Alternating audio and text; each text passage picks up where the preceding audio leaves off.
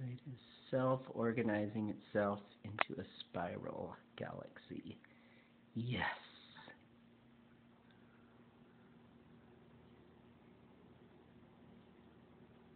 Look at all that nuclear fusion and planet formation.